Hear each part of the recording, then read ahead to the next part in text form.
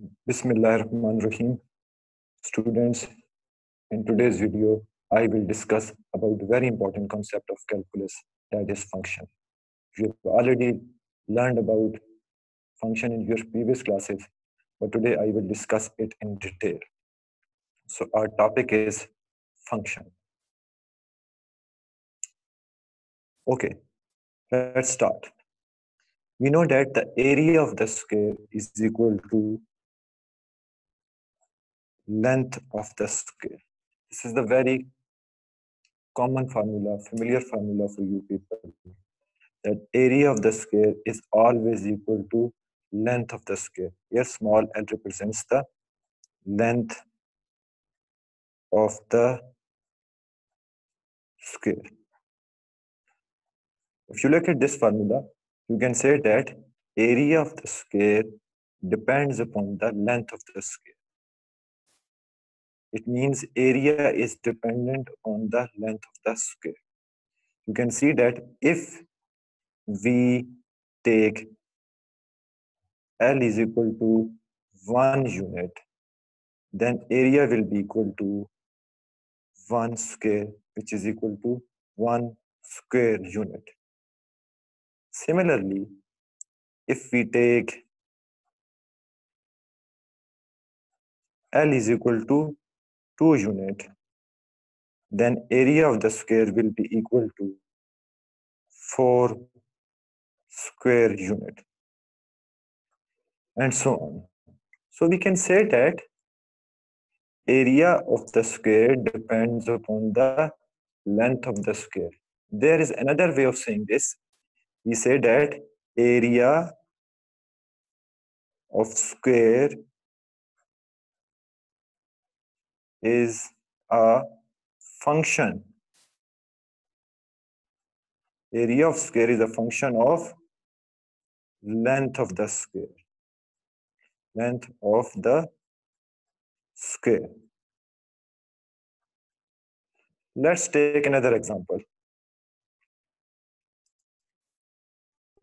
We know that volume of the sphere, volume capital V represents the volume of the sphere and volume of the sphere is equal to 4 by 3 pi r cube.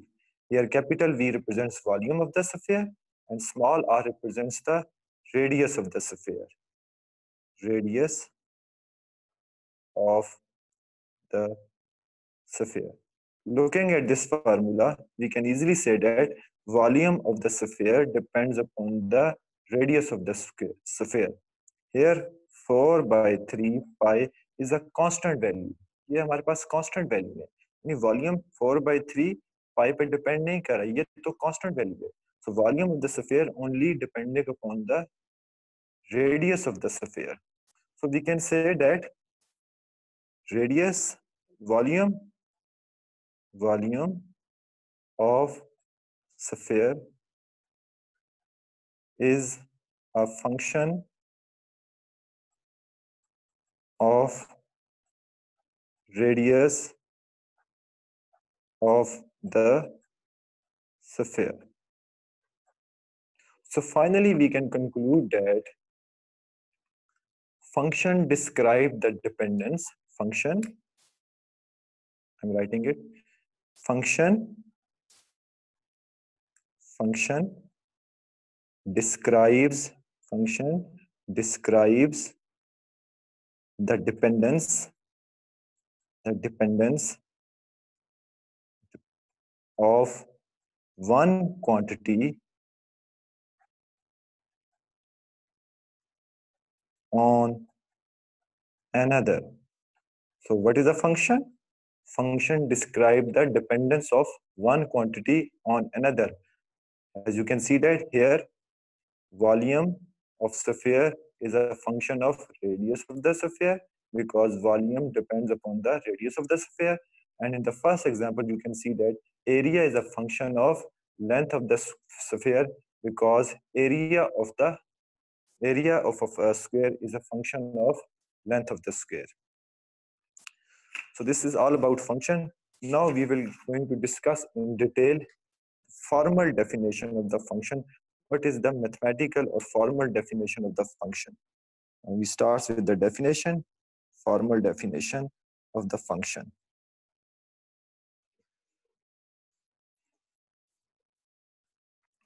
So what is function? Mathematically a function is defined as a function a function is a rule or correspondence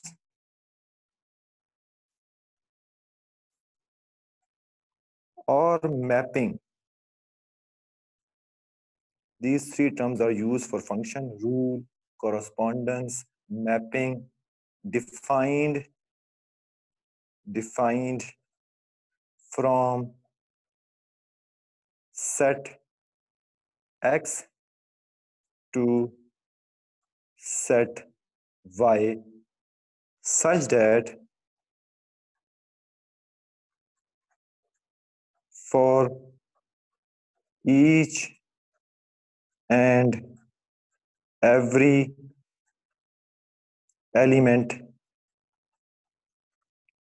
of set x has a unique has a unique image in set y. This is the formal definition of the function. I repeat again, a function is a rule, correspondence, or mapping defined from set x to set y such that for each and every element of set x has a unique image in set y. Unique means exactly one. Exactly one. तो अगर आप इस definition को गौर से देखें तो इस definition के दो मेन पार्ट्स हैं। पहला पार्ट क्या है? For each and every element of set X और दूसरा पार्ट है unique image in set Y unique image in set Y ये दो मेन पार्ट्स हैं। इनको इस डेफिनेशन को हम अंडरस्टैंड करने की कोशिश करते हैं with the help of an example मैं आपके सामने एक मैपिंग ले रहा हूँ। लेट्स सपोज़ हमारे पास एक सेट एक्स है और एक दूसरा सेट है set Y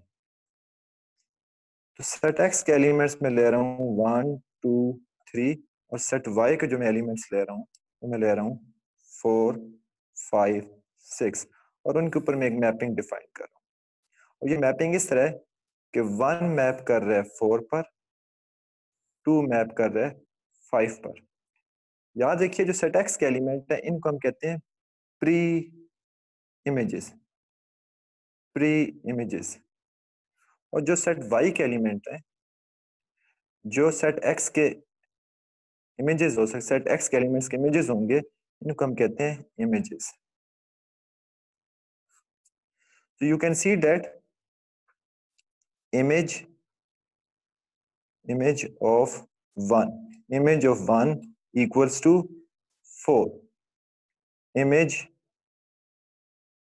of 2 is equal to 5 and image of 3 is not available in set y तो हम चेक करते हैं कि क्या ये जो मैंने आपको एग्जांपल दी है ये जो मैपिंग मैंने आपके सामने डिफाइन किया है क्या ये फ़ंक्शन है या नहीं तो इसको चेक करने के लिए वापस हम अपनी डेफिनेशन पर जाते हैं। क्या ये मैपिंग हमारी गिवन डेफिनेशन को सेटिस्फाई कर रही है या नहीं कर रही? तो पहले पार्ट को हम देखते हैं। For each and every element of set X set X के हर एलिमेंट का सेट वाई में यूनिक इमेज होना चाहिए। ये दो मेन पॉइंट्स हैं। तो अगर आप देखें वन का इमेज फोर है और यूनिक भी है। टू का इमेज फाइव है और यूनिक भी है। यूनिक का मतलब सिर्फ़ एक ही इमेज है। इसके अलावा कुछ नहीं है, यानी वन का इमेज सिर्फ़ फोर ही है टू का इमेज ओनली फाइव ही है। लेकिन प्रॉब्लम क्या है कि सेट एक्स के हर एलिमेंट का वाई में इमेज अवेलेबल नहीं है। कैसे? यानी थ्री जो है वो सेट एक्स से बिलोंग कर रहा है और इस थ्री का वाई में कोई भी इमेज नहीं है हमारे पास। तो ये ये जो मैपिंग है, ये हमारी डेफिनेशन गिवन डेफिनेशन को सेटिस्फाई नहीं करी, क्योंकि सेट एक्स के हर एलिमेंट का वाई में इमेज अवेलेबल नहीं है। So we can say that this mapping does not satisfy the definition of the function. Hence we conclude that this mapping is not a function. और उम्मीद आपको समझ आ गई होगी कि क्यू फ़ंक्शन क्यों नहीं है, कि सेट एक्स के हर एलिमेंट का वाई में इमेज नहीं है। दो एलिमेंट्स का तो इमेज अवेलेबल है सेट वाई में, लेकिन थर्ड जो एलिमेंट है थ्री इसका वाई में इमेज नहीं है। एक और मैपिंग कंसिडर करते हैं। let's suppose consider the set x and the elements of the set x are 1 2 3 and we have another set y और इसके जो एलिमेंट्स हैं वो हैं फोर फाइव सिक्स सिंपल सी मैं मैपिंग ले रहा हूँ और ये इसके ऊपर हम मैपिंग डिफाइन करते हैं let suppose one is mapping on four again one is mapping on five two is mapping on five three is mapping on six. तो आप चेक करते हैं कि ये जो मैपिंग है, क्या ये फ़ंक्शन की डेफिनेशन को सेटिस्फाई कर रही है या नहीं कर रही तो वापस हम जाते हैं डेफिनेशन की तरफ़। तो डेफिनेशन के दो पार्ट्स हैं। For each and every element of set X हम लिखते हैं जरा, इसको चेक करने की कोशिश करते हैं। Now you can see that image of one is equal to four again one five पे भी मैप कर रहा है। Image of 1 is equal to 5. Image of 2 is equal to 5 and image of 3 is equal to 6.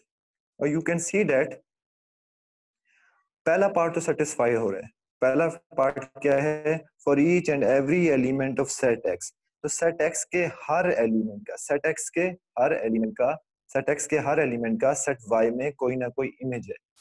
पहला part तो satisfy हो गया। दूसरा पार्ट क्या कहता है कि सेट एक्स के हर एलिमेंट का सेट वाई में इमेज होना चाहिए और दूसरा पार्ट ये कहता है कि वो जो इमेज है वो यूनिक होना चाहिए। बट यहीं पे तो प्रॉब्लम आ रही है। Image of one equals to four image of one equals to five you can see that image of one is not unique, image of one is not exactly one one के दो images आ रहे हैं set Y के अंदर। इस basis पे हम ये कह सकते हैं कि ये जो हमारी मैपिंग है it is not a function not a function because of the second part of the definition के सेट एक्स के जो एलिमेंट्स हैं, हर एलिमेंट का जो इमेज है वो यूनिक नहीं है। Now let's take another example एक और एग्जांपल लेते हैं।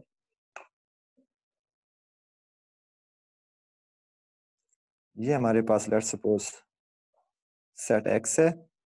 This is set Y set X के elements one two three set Y के एलिमेंट्स फोर फाइव सिक्स और मैं एक मैपिंग कंसिडर कर रहा हूँ set X to set Y और ये मैपिंग मैं इस तरह ले रहा हूँ कि let suppose one is mapping on four two is mapping on five three is mapping on six let suppose ये जो करस्पॉन्डेंस है, ये जो रूल है क्या ये फ़ंक्शन है या नहीं? Now we write image of one equals to four image of two equals to five and image of three equals to six तो अब हम चेक करते हैं, जो हमारी डेफिनेशन है, उसको ये सेटिस्फाई कर रहा है या नहीं कर रहा, ये मैपिंग तो अगर आप इस मैपिंग को देखें तो डेफिनेशन क्या कहती थी? सेट एक्स के हर एलिमेंट का सेट वाई में यूनिक इमेज होना चाहिए। तो आप देखें सेट एक्स का हर एलिमेंट इन्वॉल्व है। वन का image four image of two is five and image of three six तो सेट एक्स के हर एलिमेंट का वाई में इमेज भी है, और अगर आप देखें, वो इमेज है, वो यूनिक भी है। वन का एक इमेज है फोर टू का सिर्फ़ एक इमेज है फाइव थ्री का सिर्फ़ एक इमेज है सिक्स तो ये जो मैपिंग है ये हमारी गिवन डेफिनेशन को सेटिस्फाई कर रही है। For each and every element of X there is a unique image in Y let's suppose इस मैपिंग को मैं नाम देता हूँ एफ़ का। I call this mapping as f mathematically we can write it as f is a function f is a function defined from set X to set Y तो mathematically हम इस तरह लिखेंगे f is a function defined from set x to set y. Or simply we can say that function is simply a mapping from one set to another set. In this set, function is a mapping from one set that is x to another set that is y. In general, we can write in general, in general, we say that if we have a set x, हमारे पास एक set x हो and we have a set y. और इनके ऊपर हम एक mapping define करें। I call this mapping as f और मैं इस दफ़ा पर्टिकुलर एलिमेंट नहीं ले रहा, एक जनरल एलिमेंट ले रहा हूँ small x small x is the general element of set x and small y is the general element of set y. General element और पर्टिकुलर एलिमेंट में क्या फ़र्क है? अगर आप यहाँ पर देखें one two three set X के जो एलिमेंट्स थे ये पर्टिकुलर एलिमेंट्स हैं। वन का मतलब वन ही रहेगा। इसी तरह सेट वाई के जो एलिमेंट्स थे फोर फाइव सिक्स ये पर्टिकुलर एलिमेंट्स थे। लेकिन मैं पर्टिकुलर एलिमेंट्स लेने के बजाय मैंने जनरल एलिमेंट एक्स ले लिया। ये एक्स किसी भी एलिमेंट को रिप्रेजेंट कर सकते हैं। इन जनरल हम कंसिडर कर रहे हैं। तो हम कह सकते हैं कि y is a function of x. We say that we say that y is a function of x. If for each x belongs to x there is exactly one value of y belongs to y ये वही definition है function की कि हम कहते हैं कि y is a function of x we say that y is a function of x y x का फ़ंक्शन कब होगा जब capital set x x set x के हर एलिमेंट का y में यूनिक इमेज होना चाहिए if for each x belongs to x small x represents the element of set x capital x there is exactly one value of y belongs to set y तो तब हम कहते हैं कि y is a function of x mathematically it can be written as y is equal to f of x or we can also read as y is a function of x when it satisfies this definition this is the notation used for writing the function y is a function of x finally we can say that function is just like a machine for example, here we have a box and this box is like a machine and we call this machine as function f. So her machine को हम क्या देते हैं एक input देते हैं input और machine हमें क्या देती है आउटपुट तो हम लेट सपोज़ मशीन को जो इनपुट दे रहे हैं, वो क्या है? एक्स हम क्या इनपुट दे रहे हैं? X is the input which is which we give to the machine. Machine क्या करेगी? इसके ऊपर प्रोसेस करेगी। और इस मशीन को हमने नाम दे दिया फ़ंक्शन का। ये मशीन एक्ट करी एज अ फ़ंक्शन जब ये इनपुट मशीन में जाएगी तो मशीन इसके ऊपर वर्क करेगी ऑपरेट करेगी, और जो हमें आउटपुट मिलेगी, वो क्या मिलेगी? F of X machine will work on this output this input and the output will be f of X और इस एफ़ ऑफ़ एक्स को हम नाम दे देते हैं वाई का, जो कि नोटेशन है फ़ंक्शन को लिखने की, y is equal to f of X तो अगर हम मशीन को वन इनपुट देंगे तो आउटपुट हमें क्या मिलेगी? एफ़ ऑफ़ वन अगर हम x इनपुट देंगे तो आउटपुट क्या मिलेगी? एफ़ ऑफ़ एक्स और f of X equal to किसके होते हैं? y. y is a function of x. This is the notation which we use to write the function so this was all about function in the coming video I will discuss about domain, codomain, and range of the function. Thank you so much.